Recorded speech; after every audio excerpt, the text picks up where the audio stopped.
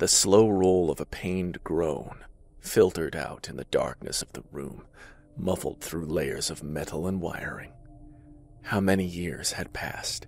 How much had he been bled? How could those bastards leave him in here, knowingly? Another pathetic, weak quail of pain and anger came from the corpse that an angry soul just barely held onto.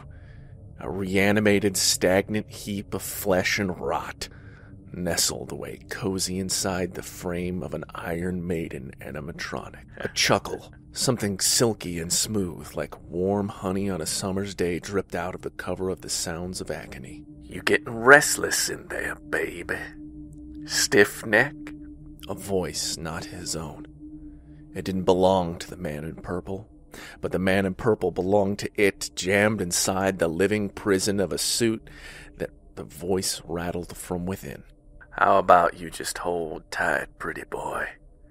You ain't gonna see sunshine for a long while.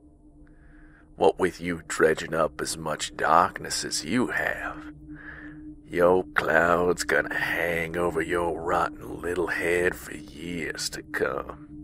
The animatronic raised his servo, tapping his blunt knuckles against his chest with a clang. But don't worry. Old Daddy Springtrap's gonna keep you real comfy. Bet you ain't ever been so deep in something this tight before. Guttural, sultry roll of mechanical conundrum's voice. I'll make you feel real good. Trust me, baby. You just wait and see. His springs creaking as they pressed in harder, deepening the punctures that were lined all throughout the cadaver's body. The rotted out guard let a tortured moan escape him, his limbs twitching as much as they could within the clamps of an animatronic's internal structure. Fitting, don't you think? Lying by the suit, killing by the suit. A smirk drawing across his face, his eyes flashing. And you gonna die by the suit to top it off. A rib snapping inside the corpse's body as Springtrap's chest compressed in on him. You want to wear us around so bad. Now you got your wish.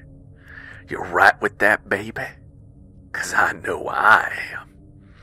I am real right. A dark, bemused chuckle teased through the darkness, accompanied with the wet sound of blood splattering to the floor and the aching, withered whimpers of an unwelcome house guest.